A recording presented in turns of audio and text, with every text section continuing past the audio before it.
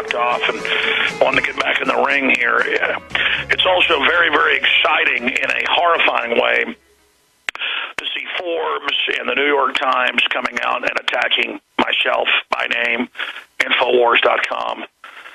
Now, the Forbes article, in a way, is almost positive. I don't know if it's a hit piece or not because we're called conspiracy theorists and things, but it does admit that we've been right about gold going up in price, and it does admit that MF Global has disappeared all this money, and so people have a right to be upset, but it uses all the standard cliches.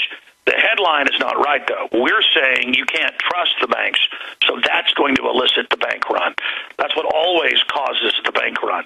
And you already see people in the last few months pulling their money out of the big six mega banks, and you now see them arresting people that come in and try to get their money out. When I first heard that a month ago, I thought this can't be true. And then I watched YouTube after YouTube after YouTube, where the people would go in and the cops were waiting, and they would like say, "You're upset today. Why are you, you so upset, ma'am?" They'd be like, "I'm not upset. Give me my money." They'd be like, "You've got to wait." No, you give it to me now. That's it. Disorderly conduct. You're out of here so many of these poor people that work for the system really think that they're going to hold the system up by by engaging in all this tyrannical activity. The truth is, they're going to allow the globalists to end this free republic as it's been known.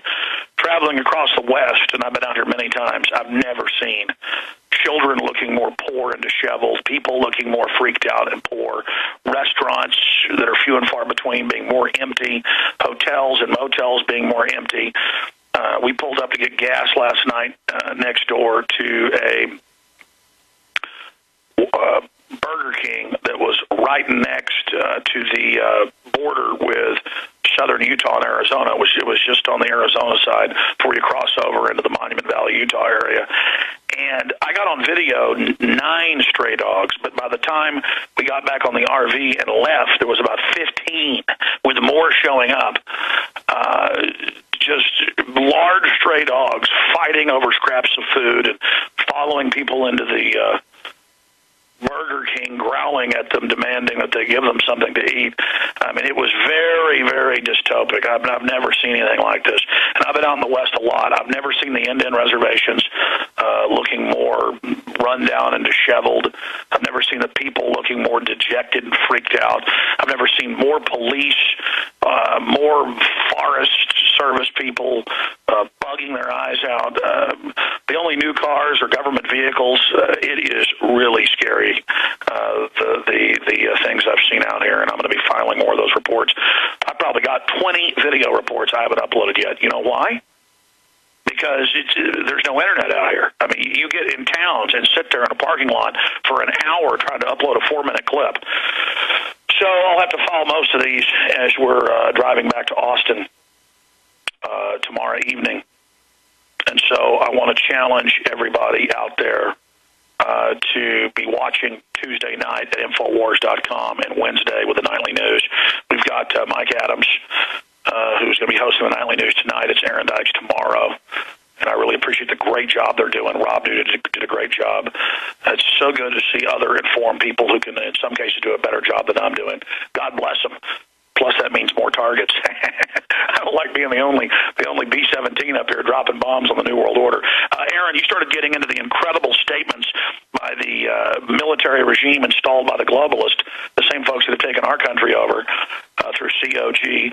Now, just machine gunning men, women, children, uh, arresting anybody that doesn't wear a burqa, uh, Sharia law, uh, boy, and putting Al Qaeda in Libya, uh, and then the, and then the new forces say, "Hey, we're doing what America does." Incredible, Aaron. Well, yeah, you've got the tale of two cities going on because if you're Syria or some other country they want to run over, then every uh, outrage, every injustice is totally an outrage. But if you're a U.S. client state like Egypt in the middle of internal civil war, every uh, injustice is just justified because it's just like America. And the quote here is, we saw the firm stance U.S. took against Occupy Wall Street people and the German government against green protesters to secure the state, said an Egyptian state television anchor yesterday. And thus the implied justification for uh, what I think now amounts to at least 35 murders just from these recent clashes, all because the military will not give up power in Egypt and they're saying elections would be in 2013 or after. And notice how Anderson Cooper and others endorsed this as the ultimate in democracy six months ago, eight months ago, and now they're not even criticizing the mass murder and slaughter because it's purely a globalist system. Again, every country being taken over by this corporatist Borg, and where all liberties are thrown out the window. We'll be uh, right back with Gerald Celente, Aaron Dykes, Jesse Ventura, Max Keiser, and more. Don't forget InfoWars Nightly News tonight, 7 o'clock Central. If you go to InfoWars.com, one love. you can see Forbes blaming Gerald Celente and I for possible runs on banks and the stock market going down. Headline Talk show host Alex Jones and guest call for run on banks. Forbes, they've got someone to blame. It's not MF Global's fault. And then there's another little headline from the New York Times blaming film, The Obama Deception, watched more than 35 million times for free online because we want to defeat the globalist. We make powerful films and put them out for free. And they're now saying the guy that shot the White House did it because of the Obama deception. Really, a film that calls for nonviolence, a film that points out Obama is a puppet three years ago and would betray everything he said he would do. Really. No, they're blaming the Tucson shooting. They're blaming Poplawski, the cop killer. They're blaming uh, this latest thing on the Obama deception. We've proven over and over again because they're scared to death of it. They're scared to death of our analysis. Like the three year old saying the emperor's not wearing any clothes, and everybody finally points out the obvious. I know rocket scientists.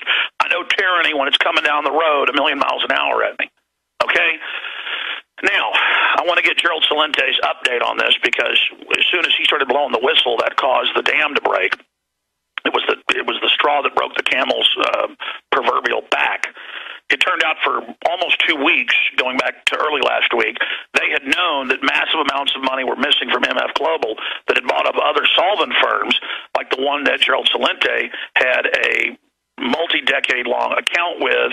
By the way, I've now done research, have the head of MF Global and others, including federal regulators at the CFTC, who were invested with MF Global and had to recuse himself, saying that these funds would be guaranteed through a different system, just not FDIC. So uh, put that in your pipe and smoke it. But here's why Gerald Celente joins us.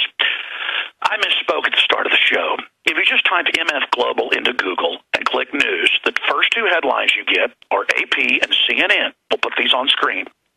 MF Global missing funds may hit 1.2 billion. Now that was earlier this morning. Now the trustees come out and said, "Oops, it's more than 1.2 billion."